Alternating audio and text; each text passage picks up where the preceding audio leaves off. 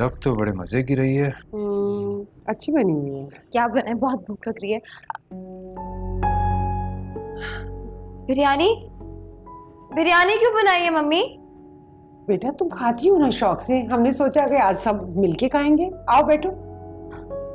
शौक से ज़रूर खाती हूँ लेकिन आज मेरा मूड नहीं था। आप मुझसे पूछ नहीं सकती थी बनाने से पहले।